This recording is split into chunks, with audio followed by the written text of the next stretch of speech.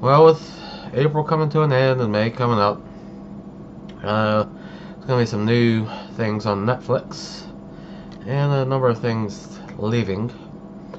Let's see, looks like there's going to be a new Netflix original this coming up month. Uh, let's see, May 1st, Beyond Clueless, Long Waltz, Legally Blonde 1 and 2, Longmire Season 3, Shameless Series 10, a bunch of stuff. Um, Third, Anita Dale Hughley Clear, Royal Pain, Season 6. May 5th, Few Best Men. May 6th, Longest Week. May 8th, Grace and Frankie, which is the Netflix original. Not really sure about that one. Haven't seen anything much about it. Um, Puss in Boots, Season 1, they're getting 5 additional episodes. Tyler Perry's A Madea Christmas. Let's see. 12th, Extraterrestrial, Fruitvale Station, Magic Universe. We'll skip a lot of this stuff and put in the description. Let's see.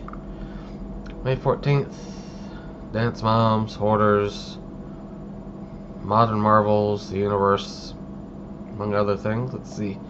15th, Anthony Bourdain, Parts Unknown, Season 4. May 16th, First Period. 19th, for disappear. Girl Blood, Zombeavers. Maybe one of those sci-fi things, I'm not sure. Let's see, between season one, show airs six episodes, one episode every Thursday, 8:30 p.m. Pacific time, starting 21st.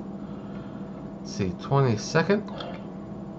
Glorious Bastards, Jen Kirkman. I'm gonna die alone, and I feel fine.